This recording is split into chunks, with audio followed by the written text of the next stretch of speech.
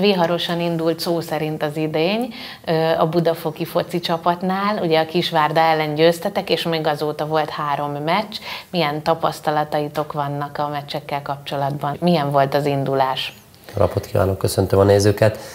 Hát igen, viharosra sikerült, ugye tudja mindenki, hogy elég érdekes időjárás fogadta a csapatot az első mérkőzésen emlékezetes maradt mind eredmény szempontból, mind minden szempontból, tehát nem beszélve arról, hogy teltház előtt játszottunk, és még egyszer csak megköszönni tudom a budafoki szurkolóknak, hogy ennyien kijöttek a mérkőzésre, és remélem a jövőben is így lesz.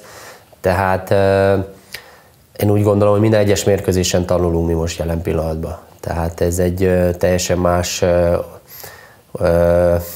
osztály, más mérkőzések vannak, más az iram, tehát eh, épp most edzésen is mondtam a srácoknak, hogy nekünk minden meccs eh, tanulságos, és tényleg kell tanulni, főleg úgy, hogy háromszor játszunk a csapatokkal úgy az idén során, és következő meccsen esetleg még jobban kihasználjuk azokat a eh, dolgokat, amit megtanultunk.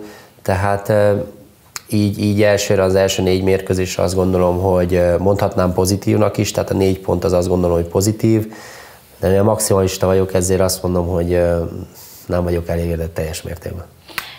Az interneten is láttam a kommentekből, hogy nagyon örültek a szurkolók, nyilván ez is egy lendületet adott. Azért új tagok is érkeztek, ugye még itt az első meccs előtt. Ővelük most milyen a munka, hogy épültek be? Hát ugye most a hétvégéi Fradi mérkőzés elmaradt, ez viszont olyan szempontból jó, hogy az újak tényleg eh, jobban be tudnak illeszkedni a csapatba, mint ahogy említetted, az utolsó pillanatban is még estek be, ugye a Nikolic, ugye a Huszti, tehát azért, azért, azért még volt itt, ami, ami általában ránk nem volt jellemző, mert általában mindig, amire kezdődött a felkészülési időszak, meg volt a csapat. Most ez így jött ki, tehát ez, ez, ehhez alkalmazkodnunk kell, ugye az egész vírus is fölforgatta ezt az egész eh, átigazolási időszakot is, de ezt kell megoldanunk, és mondom, ilyen szempontból az újaknak jót tett az, hogy, hogy tényleg itt volt elmaradott meccs, volt kupa meccs, volt válogatott meccs, tehát, és ez csak, csak az ő szempontjukból jó, meg a csapat szempontja, hogy be tudnak illeszkedni. Mondtad, hogy tapasztalatok, milyen tapasztalatok vannak? Kicsit, hogyha jobban belemegyünk. Hát jobban belemenjünk igazából az, hogy ezt, is, ezt eddig is tudtuk, de azért most legalább úgy mond a bőrünkön is tapasztaljuk, hogy a versenyt már fölvesszük a, a jobb csapatokkal, akár egy videótonna, akár a tavalyi mezőköves, de aki majdnem odaért az Európa Liga érőhelyre, fölvesszük a versenyt, viszont nem szabad olyan hibákat elkövetnünk, amit esetleg mondjuk MB2 szinten csináltunk, azt nem használtak ki az ellenfel, itt egy, hiába játszol jó, és hiába mondják azt, hogy jó ez a csapat, jó lesz a csapat, egyet hibázol, olyat, amit esetleg nem is gondolsz, hogy gólt kaphatsz belőle, és gólt kapsz belőle. Tehát ezeket minél jobban le kell szűkíteni, tényleg minél kevesebb esélyt kell adni az ellenfeleknek, mert akkor, akkor, akkor tudunk eredményesek lenni, mert azt nem szeretném hallani, hogy egy szimpatikus vesztes csapat vagyok ma, az, az, az annyira nem jó.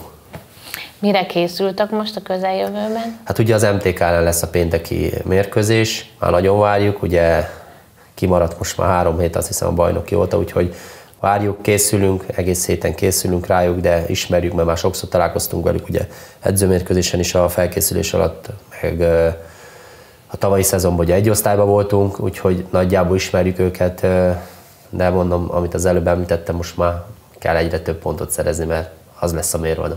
Ugye ezért a bizonytalan időszak az meg, megviseli a társadalmat is, nem csak a sportot, a csapatra, hogy hat az, hogy hát úgy nem lehet tudni, hogy mi lesz megtartva, mi lesz. Hát igen, ez egy nagyon nehéz dolog, és mind ahogy említetted, ez nem csak a sportra, hanem tényleg az egész társadalomra igaz. Nem könnyű megbirkózni vele, főleg úgy, hogy ugye heti szinten teszteljük kétszer is a, a játékosokat, a stábot, tehát a klub alkalmazottjait, mindenkit, tehát hogy épp ezért, hogy ha esetleg előfordul, akkor mi időbe kiszúrjuk. Nem egyszerű, de most ez, ez, ez a helyzet, ezt kell megoldanunk. Sokszor azt mondom, hogy két éve vagyok edző, de annyi mindennel találkoztam, hogy lehet, hogy többi, következő tíz évben nem fogok ennyi mindenne, de legalább fölkészít az élet valamire, úgyhogy nem egyszerű, de ezzel kell, kell most ezt a problémát kell megoldanunk. Hát nagyon sok sikert akkor a következő meccshez, és hát további jó edzéseket kívánok egészségesen mindenkinek. Köszönjük!